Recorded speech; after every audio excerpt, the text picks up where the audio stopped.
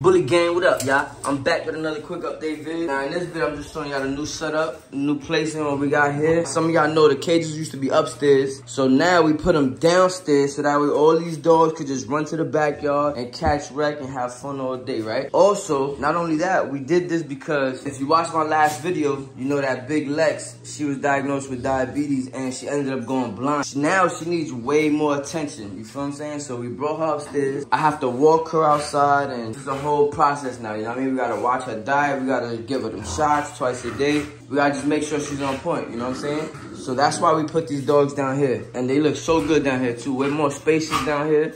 They can catch wreck out here if they want, run around, go crazy and shit. Diamond acting kind of funny style. I think she's starting to swell up in the back, so she might be coming in the heat soon, y'all, hopefully. This girl is tough, y'all. She should be coming in the heat in another two or three months too, and so should Fendi.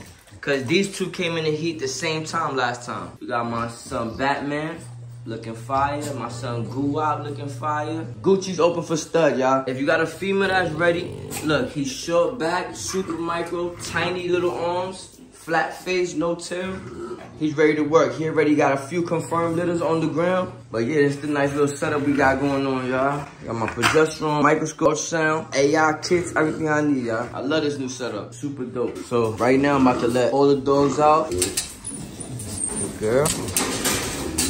Girl. Good girl. Good boy. Good boy. Ready to go.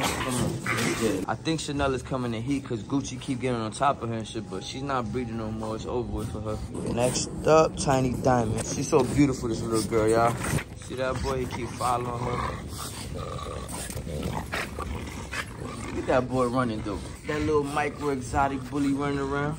She's not even swolled up like that or nothing. She's a little bit swollen, but Nothing too crazy. She's not even bleeding yet. I love my lineup. I might not have the best, but I'm working on it. They say the females is really what you need to need to create that fire shit. And I think my females is is A1. They not the smallest, they not the best. But like I said, I'm working on it, y'all. This breeding shit takes time and patience. If you don't got that, it's over with. Don't even don't even start this breeding shit. Not to mention a whole bunch of money that if you if you lose that shit, you gotta be ready to take that loss. I done took so many losses, y'all. Crazy, but it's all good. I won't never quit this shit. But alright, y'all. I just wanted to give y'all a quick update on the new setup and shit. With that being said, I'ma catch you on the next vid. Bully gang, we off this.